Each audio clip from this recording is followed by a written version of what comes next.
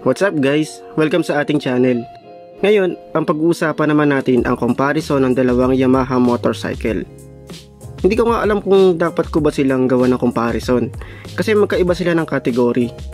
Pero kasi marami nagtatanong sa mga motorcycle groups na kung sino daw ba ang mas maganda sa dalawa.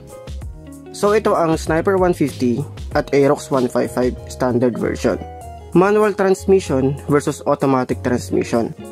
Bago tayo magsimula, eh kung bago ka pa lang dito sa channel ko, ay inaanyayahan kita mag-subscribe para laging updated sa mga i-upload kong video. So intro muna tayo.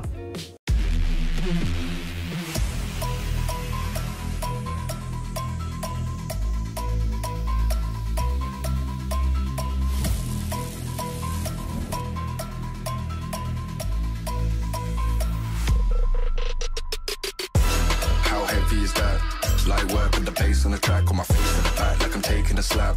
I need a drink, but it's straight from the tap. And I'm hating the slack, couple miles run around like the hate in the gaff. Please stop talking that trash, cause the vibes in the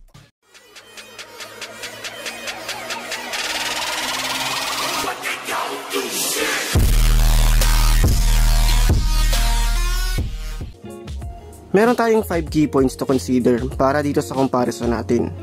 Ito ang performance, looks and dimensions, price, features, and utility. So simulan natin sa performance. Para malaman natin kung sino ba ang mas malakas at mas mabilis, eh kailangan natin tingnan ang engine specs ng dalawa. Sa engine type, pareho silang single cylinder, liquid cooled, 4 stroke, 4 valve, at single overhead cam. Pero itong si Aerox ay may VVA. So ahead si Aerox sa engine type. Sa displacement, si Sniper ay 150cc at si Aerox naman ay 155cc. So ahead ulit si Aerox. Sa compression ratio, si Sniper merong 10.4 by 1 at si Aerox naman merong 10.5 by 1. So ahead ulit si Aerox. Sa bore and stroke naman, si Sniper merong 57mm by 58.7mm at si Aerox naman merong 58mm by 58.7mm. So ahead ulit si Aerox. Sa max power, si Sniper merong 11.3 kW at 8,500 RPM. At si Aerox naman merong 11 kW at 8,000 RPM. So ahead si Sniper. Sa max torque, si Sniper merong 13.8 Nm at 7,000 RPM. At si Aerox naman merong 13.8 Nm at 6,250 RPM. So halos same lang silang dalawa. Sa fuel system, parehong fuel injected. So tay sila. Sa starting system, si Sniper merong electric at kickstart. At si Aerox naman merong electric start. So ahead si Sniper. Bali hindi ko na sinama yung transmission type kasi magkaiba sila ng category. So base sa specs, eh lamang tong si Aerox. So sa performance, ang panalo ay si Aerox.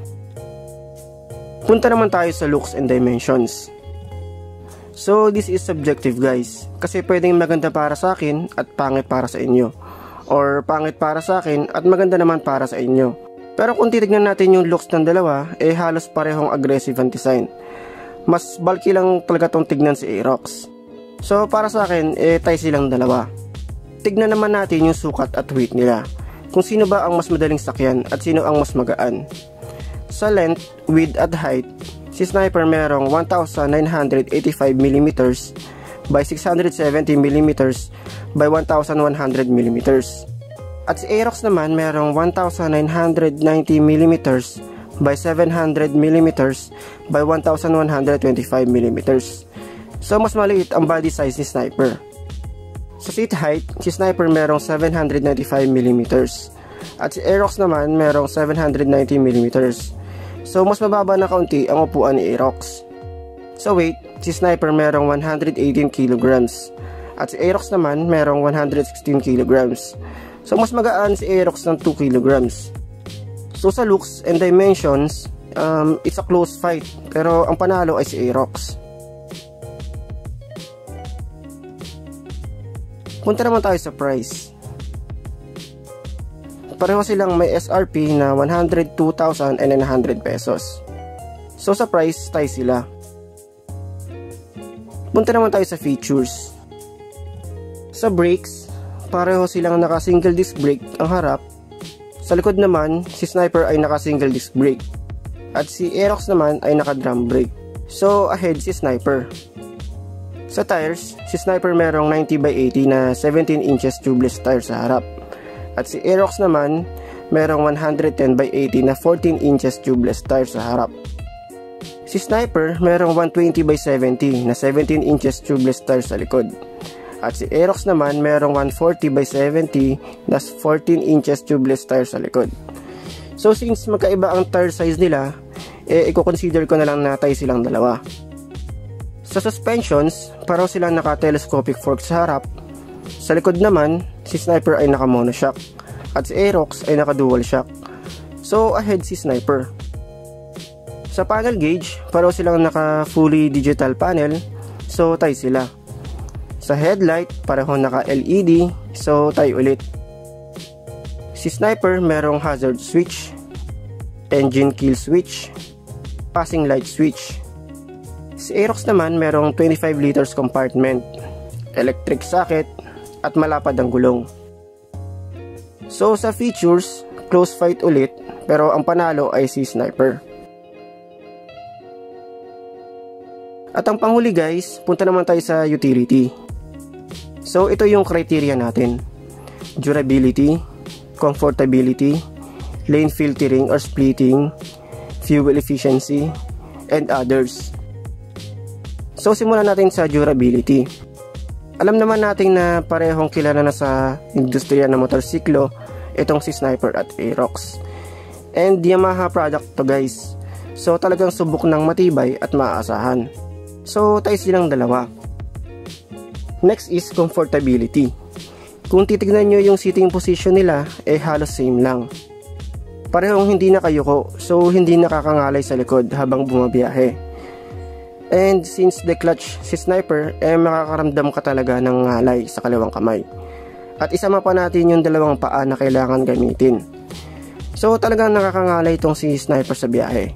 Unlike kay Aerox, ang iisipin mo lang ay yung pagsilinyador. So, ang panalo dito ay si Aerox. Next is lane filtering or splitting. Since mas maliit ang body size ni Sniper, eh mas madali siyang isingit-singit sa traffic. So, panalo dito si Sniper. Ang sunod naman ay ang fuel efficiency. Since pareho silang 150cc at halos same lang ang engine specs, eh i-consider ko silang tie. Nga pala guys, halos same lang sila ng fuel efficiency sa, sa city driving around 35 to 40 km per liter sila. At ang panghuli guys ay ang others. Since may 25 liters compartment sa Aerox, eh pwede ka maglagay ng maraming gamit. Unlike kay Sniper na papel at maliliit lang na tools ang pwedeng ilagay. So when it comes to utility, eh halos same lang ang dalawa. Ahead nga lang si Aerox sa compartment. So sa utility, ang panalo ay si Aerox. So guys, tapos na tayo sa 5 key points. Balikan naman natin kung sino yung mga nanalo per key point.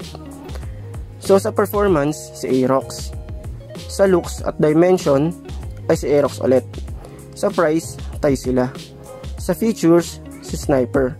And sa utility, si Aerox. Bali ang score, 4 points kay Aerox at 1 point naman kay Sniper.